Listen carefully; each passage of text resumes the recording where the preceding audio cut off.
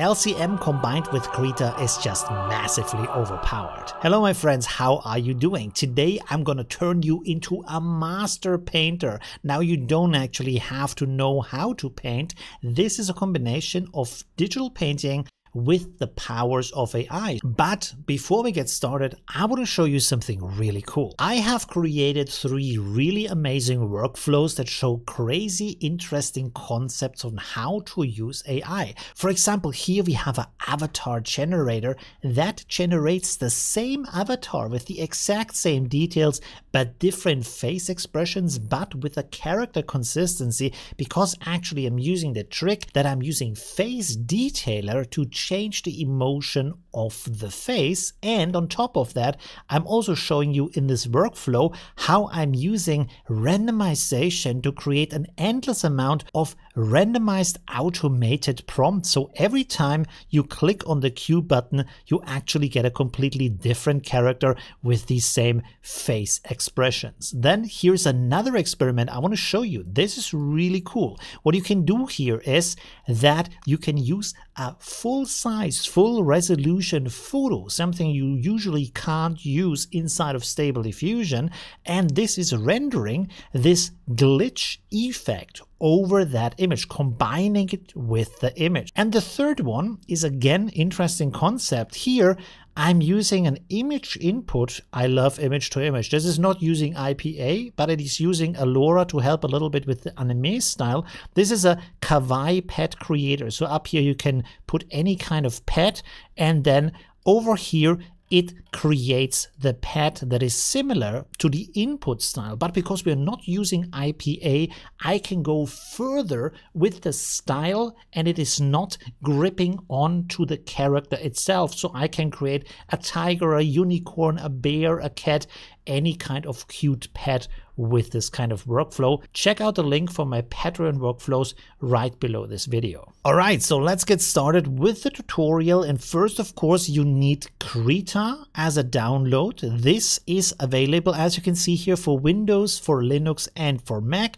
It is completely free. It's open source software, so that is pretty amazing. Simply click here on the download button and then it will give you the installer you need or you can select it also down here. As you can see here, there's also a portable version if you don't want to install it, although I would suggest to you to install Krita on your system. You need a version that is above 5.2. Maybe you already have it and you want to update it in that case. Then what we also also need is Krita AI diffusion. When we scroll down a little bit to the getting started section, you can see here this is supporting NVIDIA GPU, AMD, Apple M1 and 2, CPU and also cloud GPU if you want to render in the cloud. There's even a description here on how to set this up. Below that, you have the installation description here. Very easy. You simply download the plugin, you unpack it into your P Y Krita folder on Windows, as you can see here. This is inside the C drive users folder, username folder, app data, roaming,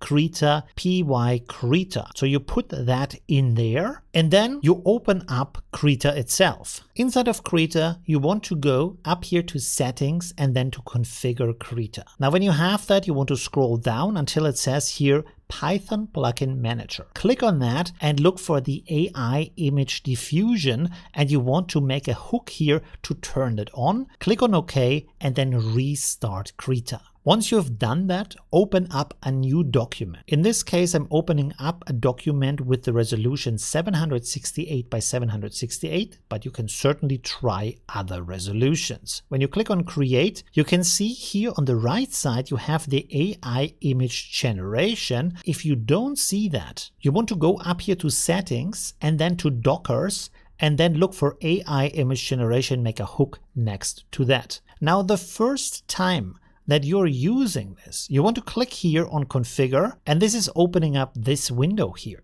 Now for you, it's going to say on the right side here install, but before you click the install button, look down here on everything you want to install from the list. You don't have to install everything, but I would suggest that you get a good selection here of these different ControlNet extensions for SD 1.5 and also SDXL.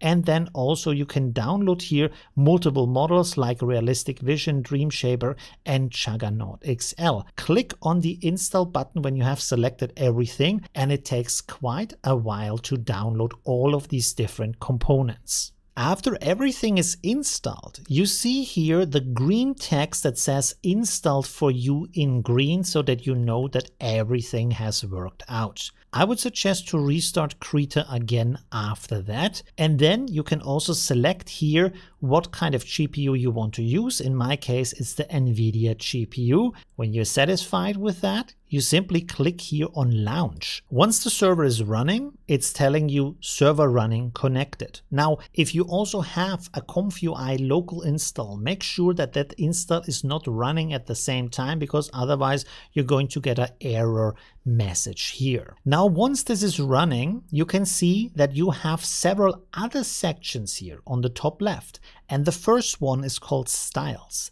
Now, when you go into styles, you have here the style words for your prompt and then also the words for the negative prompt. So you want to check that out because in the tab here on the side, you can only set the prompt area that is automatically set in here. So if you want to adjust a certain specific prompt, you might want to set this here and also for your negative prompt to set this up here before you start to create your generation. And of course, also you have here the selection of the different checkpoints you want to use. And when you have set up everything, you can save this with the plus sign up here as a style so that over time you can select different styles you want to use for your creation. Now that everything is set up, we have over here the AI image generation. It now looks like this. Here you have the selection of what you want to do. These are actually the styles that I have just shown you. There, as you can see, are 1.5 styles and XL styles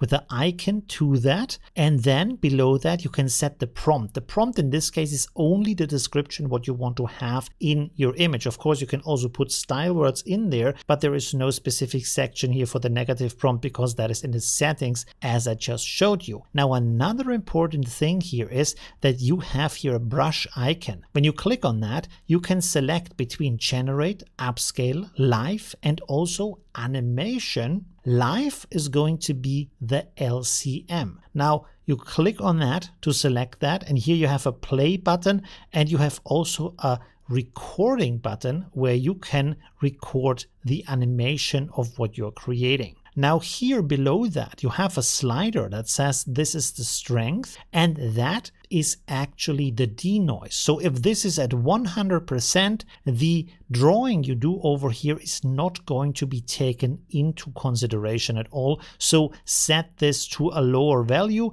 play around with the values to see what is useful to you. Now the interesting thing here is everything you have here as layers that is visible is used inside of the LCM generation or even the normal generation. That means you can actually use multiple layers without a problem. This is not just rendering the active layer, it's rendering everything that is visible. Now for describing how Krita works, it's actually kind of easy. You have here this color selector, but even if you don't want to use that, when you right click with with your mouse, you have this selection palette here. And in the middle, you can see there is also a color select that is very useful. And you can also set up here the most often used tools and even over here you have the size and the opacity and the angle of that tool so that for example we can use here our pencil when I select that I can still set my opacity and my size up here and with that I can for example paint here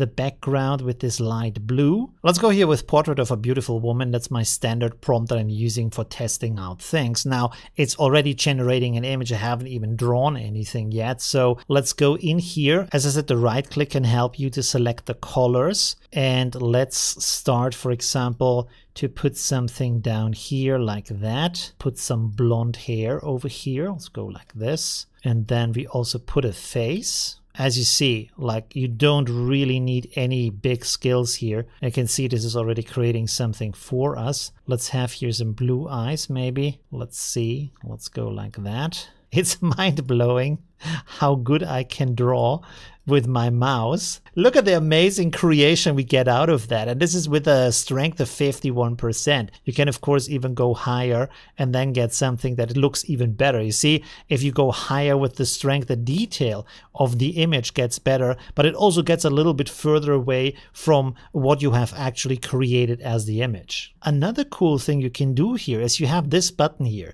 This is copy the current result to the image as a layer. Now that is good for two reasons. First of all, you can make a quick backup up here that is saved as a layer, but also you can use this as a new input. And now I can go in here and for example, go like this and say, I want to have a blue shirt actually instead of a red shirt. So now she has a blue shirt. How crazy is that? You can also do an in painting. Here on the left side, you have the freehand selection tool. So I can go here, select that, and then as you can see, this is only selecting that part. So I can write here smiling. So I have a smile here now. And now again, I can put this with copy current result to the top. And now if I have my smile in here, I will check out all of that together with you in my upcoming live stream on Sunday. We're going to have a lot of fun. Thanks for watching and see you soon. Bye, my friends.